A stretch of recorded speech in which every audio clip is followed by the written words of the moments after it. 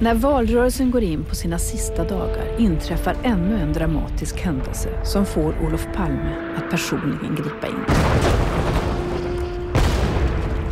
I Chile tar militären makten. Arméns jaktplan beskjuter presidentpalatset och landets socialistiske president Salvador Allende. Salvador Allende är död. Han störtades med våld av högerkrafterna.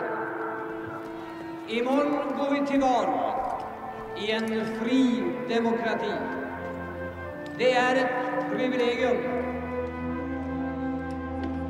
Militären fängslar tusentals chilenare och nationalstadion i Santiago förvandlas till ett läger där människor torteras och avrättas. Harald Edelstam, Sveriges ambassadör i Chile, är en gammal bekant till Olof Palme. De är uppväxta i samma kretsar på Östermalm. När militären stormar Kubas ambassad, granne med den svenska, gör Harald Edelstam något mycket ovanligt för en diplomat. Då rullar han ihop en svensk jättestor flagga och tar den under armen och så går han bort till Kubas ambassad och så in i skott Eh, regnet där De säger att det här är svenskt territorium nu.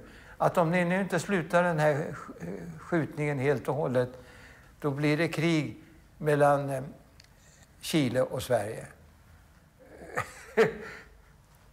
Ja, vad gör han då? Jo, han ringer till Olof Palme direkt hem till Vällingby och får tag på honom. Olof sitter i köket telefonen stod liksom mitt i radhuset så att man kunde ju höra hur han ropade till Harald Edelstam att ja, du måste släppa in dem, du måste försöka ordna mera platser. Och jag hörde hur de pratade ivrigt med varandra.